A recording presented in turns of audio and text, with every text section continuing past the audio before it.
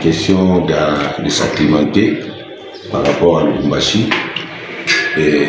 On est là avec un moral très bombé pour essayer un peu de corriger ce qui, ce qui a eu au match passé. Raison d'être là avant pour éviter toutes choses, et, la fatigue et tout ça, tout ça. Personne ne peut accepter jouer, faire un bon match et puis après trébucher.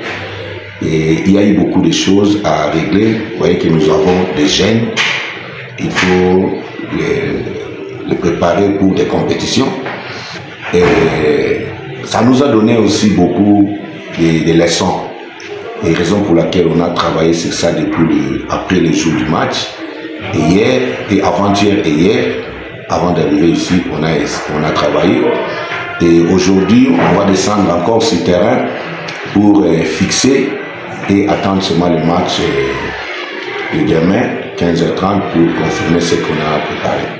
Nous, nous avons notre ambition que nous avons fixé les objectifs de faire mieux et on garde cet objectif-là et on va se présenter sur le terrain comme un lion blessé pour essayer de remédier et regagner la confiance.